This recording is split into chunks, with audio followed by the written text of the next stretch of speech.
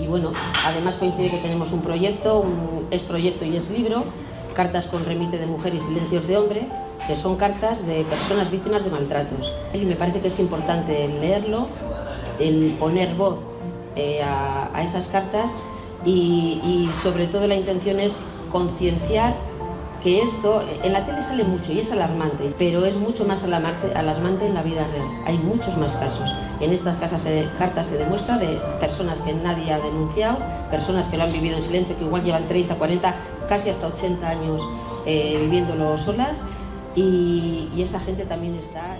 Me dicen que por qué no cuento mi historia. No creo que tenga mucho que contar. Mis vivencias, yo creo que son cosas que muchas mujeres viven y cada una resolvemos como podemos. Lo único que puede ser más importante es precisamente eso, que se repite en muchos casos y eso es preocupante. Yo me casé joven, porque quise.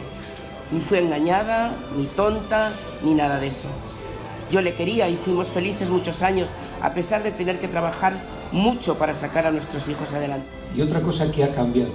Mi hijo el mayor tiene parálisis cerebral y ahora que estoy jubilado suelo acompañar a la piscina municipal porque le viene muy bien nadar para el cuerpo. Ahora, cuando vamos a la ducha y le ayudo, no hay un puto día que no me acuerde de, toda esta mierda y pienso, si algún día yo no estoy y alguien como aquel hijo de puta empieza a ducharse al lado de José, ¿qué pasará? Ahora la risa y la honra se me han hecho llanto. Solo me fui diciendo que quería ver a mis padres, que les echaba de menos. Y era verdad. Pero no me fui por eso.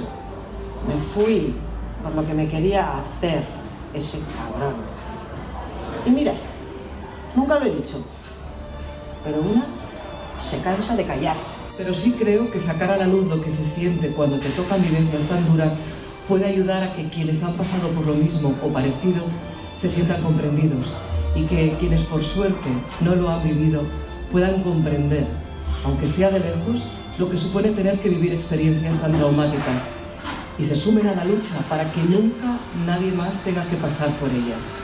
Sea como sea, hoy siento que debo escribirlo, para mí o para ti, si estás ahí. Mucha gente de los que han regalado sus historias, que se sentirían muy orgullosos de lo que habéis hecho, y de alguna manera les hemos devuelto un poquito de justicia, porque habéis puesto voz a lo que ellos han tenido que callar tanto tiempo, porque nadie calla porque quiere.